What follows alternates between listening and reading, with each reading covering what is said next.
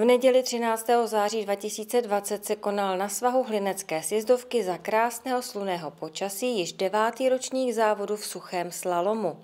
Jednalo se o přípravný závod, který se započítává do celkových výsledků Ligy o pohár Vysočiny a závodníkům opět vyšlo krásné sluné počasí.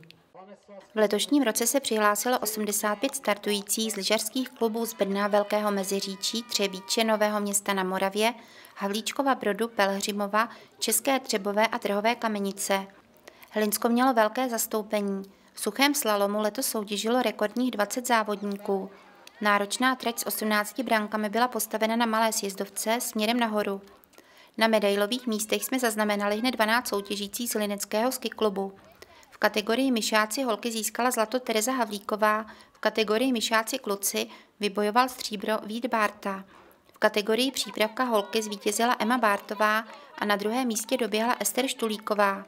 V kategorii předžadstvo kluci vybojoval stříbro Ondřej Poslušný a v kategorii mladší žadstvo holky získala bronz Vanessa Urbánková kategorii starší žadstvo holky doběhla na druhém místě Lucie Kopecká, stejně jako v kategorii starší žadstvo kluci Štěpán Stýblo.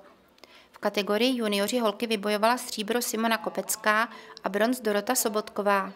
V kategorii junioři kluci doběhl na třetím místě Lukáš Havlík a v kategorii dospělí muži získal krásné druhé místo David Kopecký. Ani ostatní hlinečtí závodníci se ve startovním poli nestratili.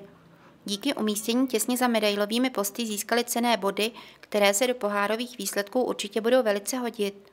Přestože do zimy ještě zbývá několik měsíců, hlinecký závodní oddíl ski klubu nijak nezahálí a pilně trénuje. Přejeme hlineckým závodníkům hodně dalších úspěchů nejen na poli lyžařském.